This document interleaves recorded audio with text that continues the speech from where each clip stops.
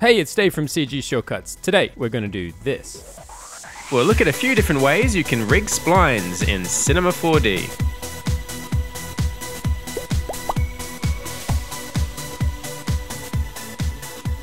This video was brought to you by Skillshare, where you can get access to over 25,000 full courses on a huge range of subjects. The classes are project based, and teachers take you through all the steps in creating each project. And when you're done, you can share your work with teachers and the student community for feedback and support.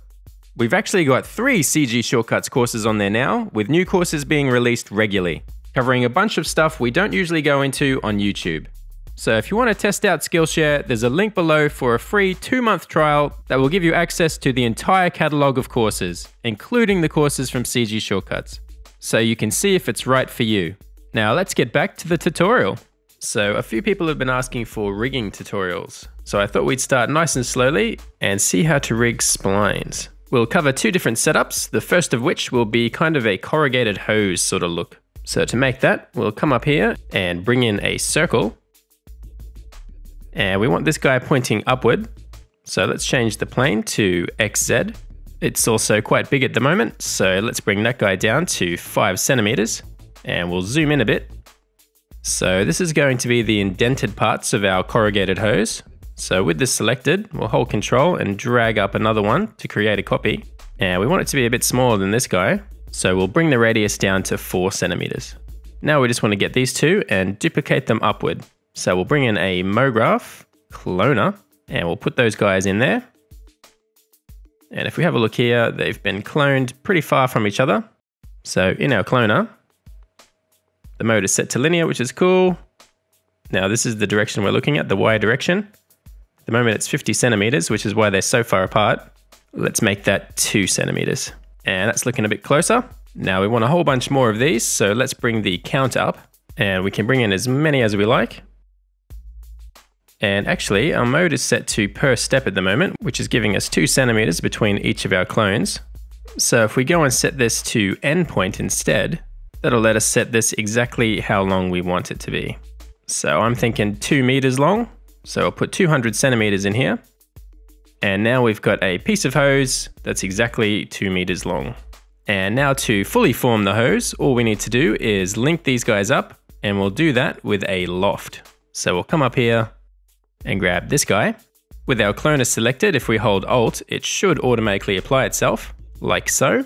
Now that's starting to look a bit more hose-like, but I think these sections are a bit too far apart. So we'll go back to our cloner and we'll bring that count way up to about 100.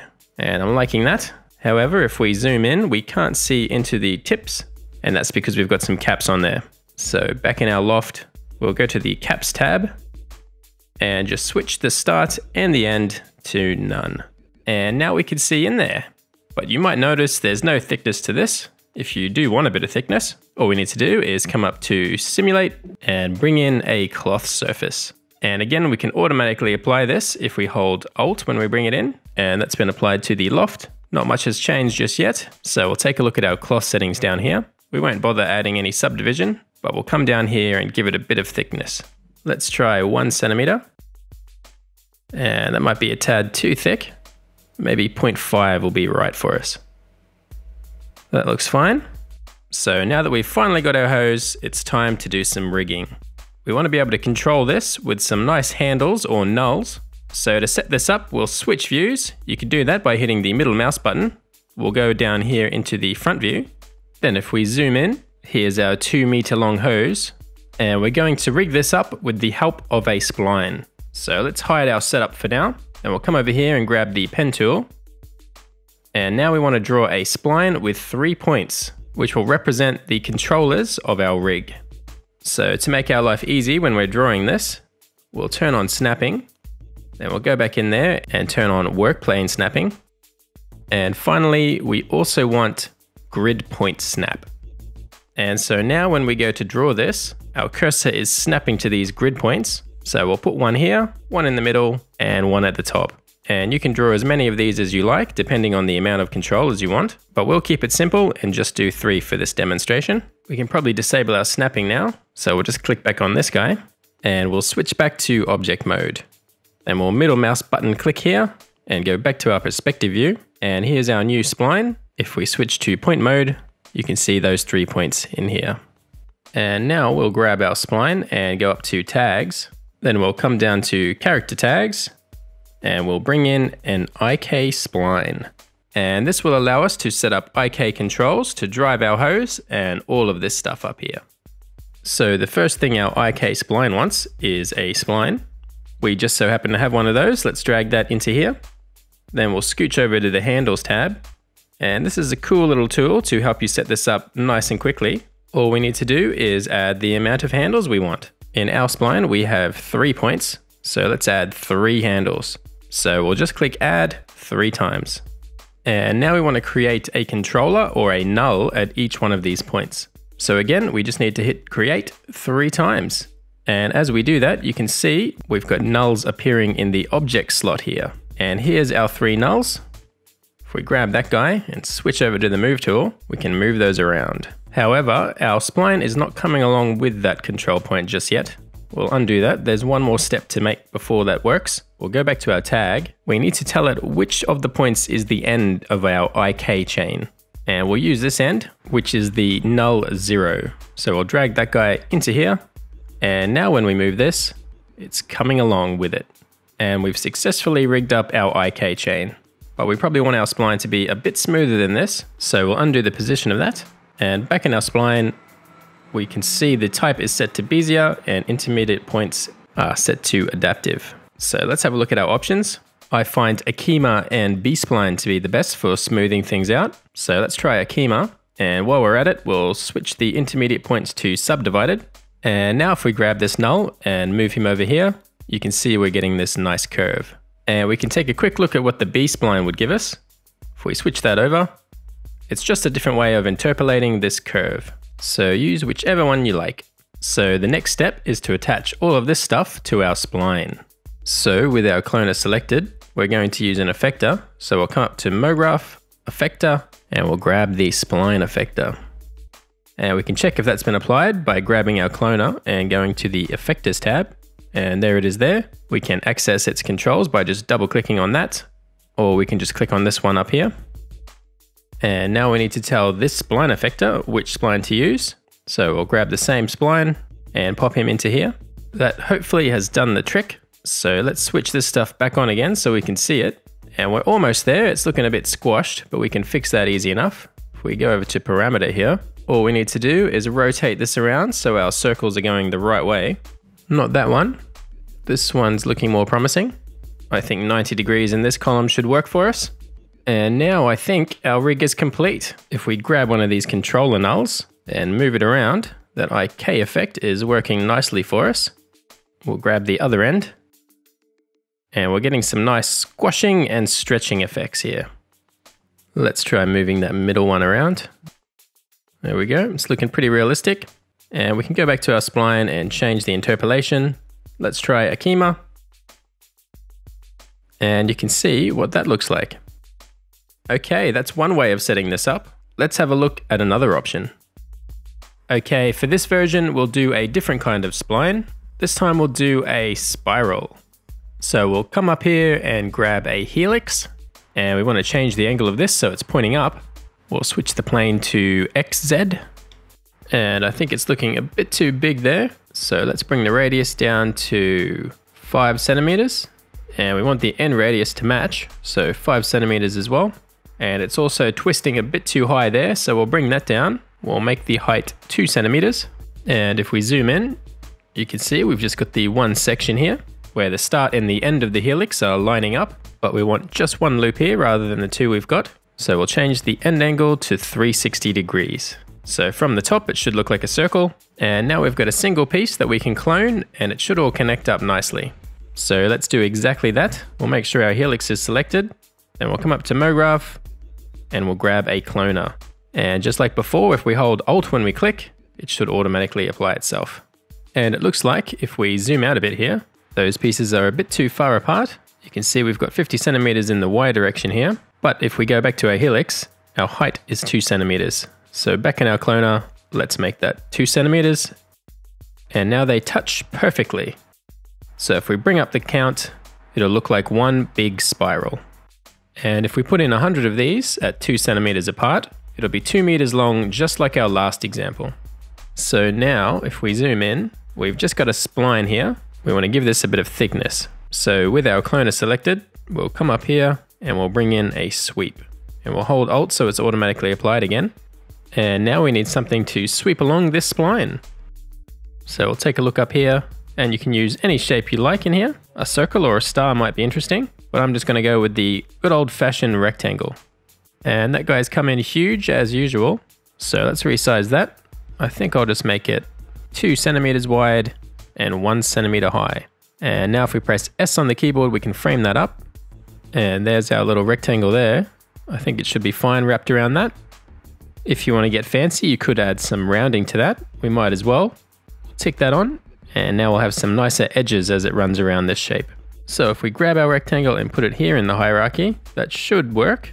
And it has, however, it's not going the full way around because we still need to connect all of these clones together. So to make each one of these clones one single spiral, we'll come up here to this menu and grab a connect. And the same deal with that one, we need to hold Alt so it's applied.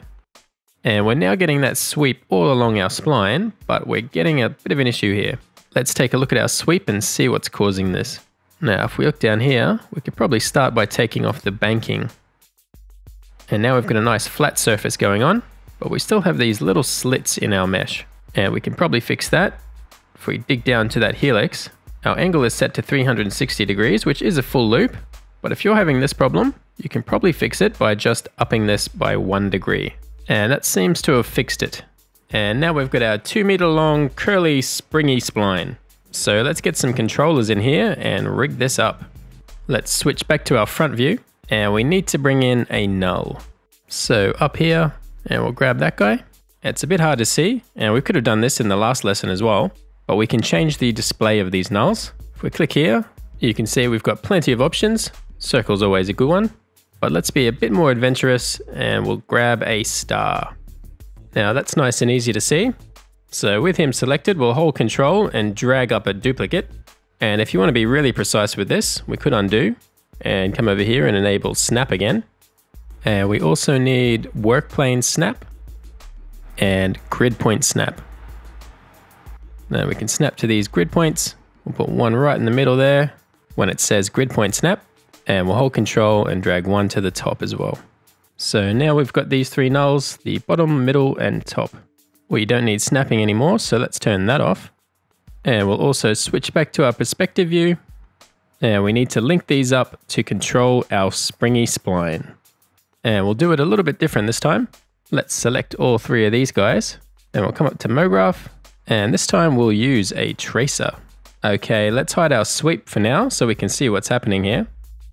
We can use our tracer to draw a line or a spline between these three and use that to drive all of these.